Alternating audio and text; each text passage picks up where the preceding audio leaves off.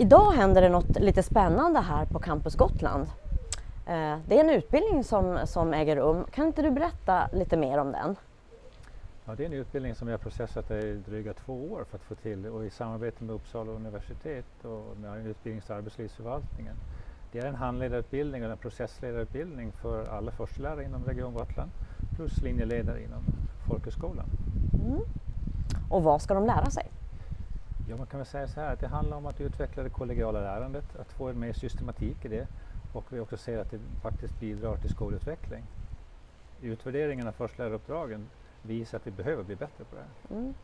Ni behöver vässa er kring eh, att kunna leda sina kollegor kan man säga. Jo, det har väl tagits lite grann för givet att bara för att man är lärare eller förstelärare så ska man kunna klara av det här. Hur kommer utbildningen att gå till då? Det är två heldagar den 7 och 8 september och så rullar det på med ett antal halvdagar eh, framåt och det är tre terminer det här så den pågår fram till sista december 23. Mm. Har du några specie speciella förväntningar?